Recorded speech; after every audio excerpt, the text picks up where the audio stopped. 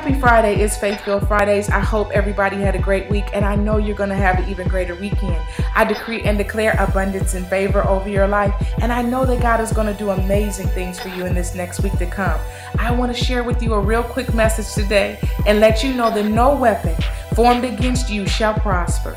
No weapon formed against you shall prosper. Sometimes the enemy will try to plot and plan things to come against you, but nothing can touch you because you are the child of a most high God. And I'm here to tell you because of that, you are shielded and guarded from anything that the enemy tries to bring your way.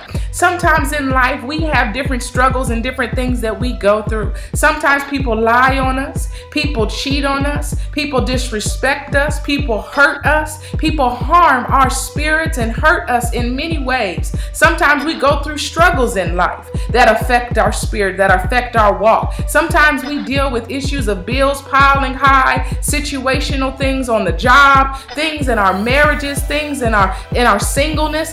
We just got different things that are always coming against us. But I'm here to tell you that no matter how many darts or how many arrows the enemy tries to throw your way, none of them will prosper. No lies that come against you will prosper. Nothing that happens to you bad will prosper because you are more than a conqueror and the lies will be made known and things will always come out to the light because God will never allow what's done in the darkness to his children not be brought out to the light. I'm here to tell you anything that you're going through in your life that may not feel good, you may have been hurt by someone, you may be going through a struggle that hurts, no weapon formed against you shall prosper. So the situation will not prosper. The people that are hurting you will not prosper. They will not get the victory. You will get the victory because we go through these things so that God can strengthen in us who we need to be to understand that the weapons cannot come against us so that we can stand tall and know that as we hold that field, that shield of faith,